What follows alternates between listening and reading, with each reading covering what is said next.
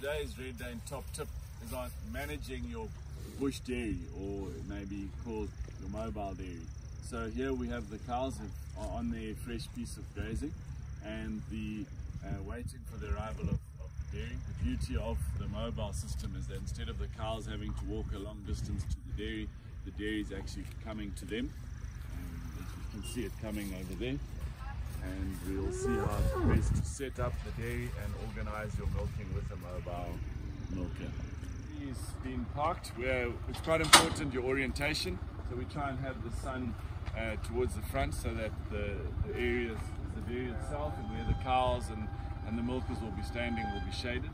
And as you can see inside the dairy it's been preloaded with the feed. So on its way down to the milking area uh, where the cows are should I say um, they they pick up the feed and obviously they need all their milk cans. When they've arrived they have full bags of feed and when they leave hopefully uh, they'll have full cans of milk. In this situation where we've got irrigated pastures we and we got had some rain last night we don't want the pasture being damaged by driving the dairy and milking on the pasture itself.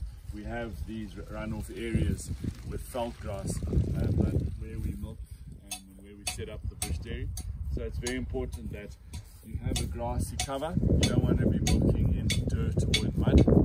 Um, over here, this, this dairy here, we milk using a, a small generator. Um, there, are, there is a chance wherever you've got electricity and, and cattle and water of electric shock. So we try and be very cautious by having, making sure we hit in a good earth stake and uh, having earth leakage devices and tripping systems to make sure there's no danger to the operators or the cattle. With the bush dairy we have to open up the sides um, so that we can get the cows in.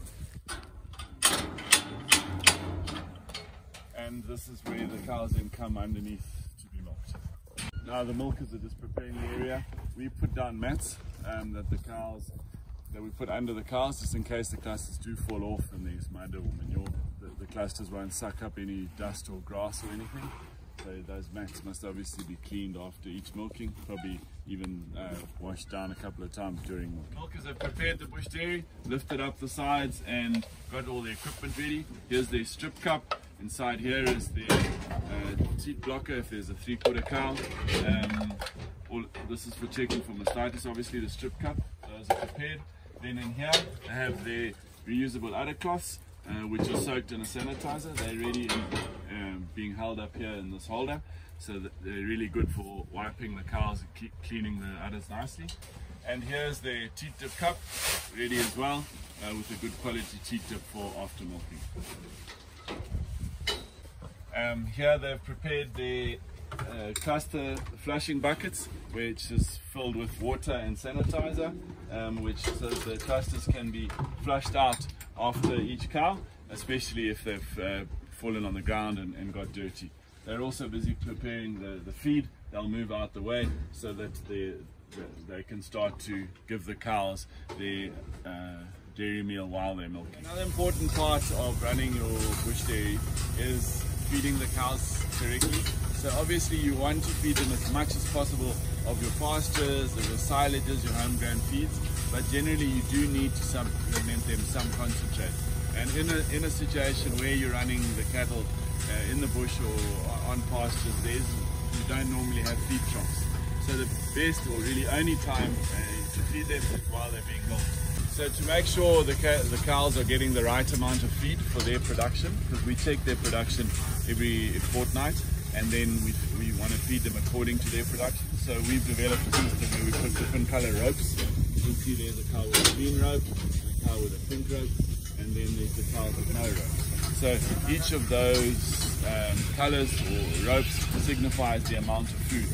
We then have different containers so that we know the green cows get a full bucket and uh, the big bucket, the, red, the pink cows get a different size bucket and so on ensuring they're all fed. Um, the other important thing is to make sure that the, the cows are only getting their share of the food and not stealing from the other cow. And some of the newer bush dairies we've put in more railing to make sure that they only get what is, what is meant for them.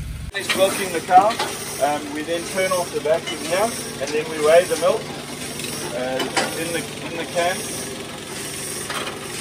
very simple way of doing it.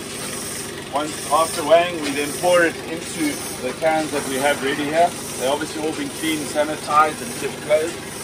And we pour them through this through the sieve. And in the sieve, we have filters. We have a stainless steel sieve and some filter paper. Make sure that we get the milk as clean as possible and don't have any foreign objects in the milk.